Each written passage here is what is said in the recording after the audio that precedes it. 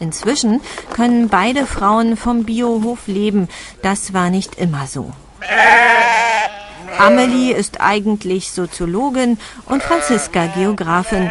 Der Milchschafhof ein Wagnis für die beiden Akademikerinnen. Wir haben mit drei Schafen angefangen. Mit drei Schafen? Ja, ja.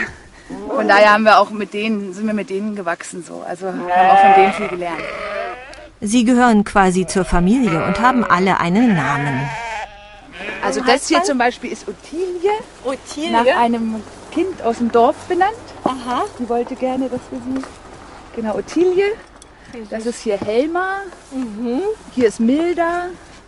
Anfangs züchteten sie nur ostfriesische Milchschafe. Jetzt kamen slowenische Bergschafe dazu. Die kommen auf den kargen Böden Brandenburgs einfach besser klar. Was magst du am meisten von den ganzen Arbeiten, die so anfallen? Das Melken. Warum? Das ist irgendwie so eine. Ich höre dabei immer Radio, trinke morgens einen Kaffee und so eine schöne Stimmung. Und so die Zeit, die ich für mich habe pro Tag. Und ich bin auch gern mit den Tieren so nah. Also es ist so eine Vertrautheit. Und wir melken 36. Nächstes Jahr wollen wir 48 melken und das ist aber dann auch die Endgröße. Also so um die 50 mehr wachsen können wir nicht. Der Traum vom eigenen Milchschafhof